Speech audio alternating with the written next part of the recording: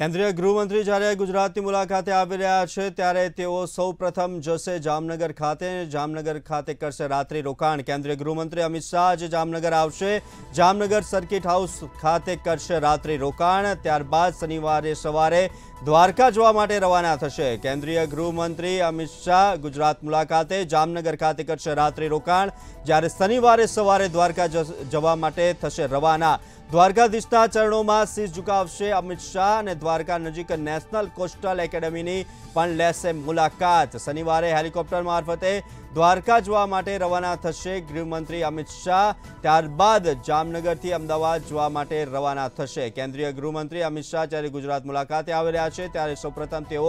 જામનગર ખાતે જશે ને ત્યાં રાત્રિ રોકાણ કરશે ત્યારબાદ દ્વારકા દિશના ચરણોમાં ઝુકાવશે શિશ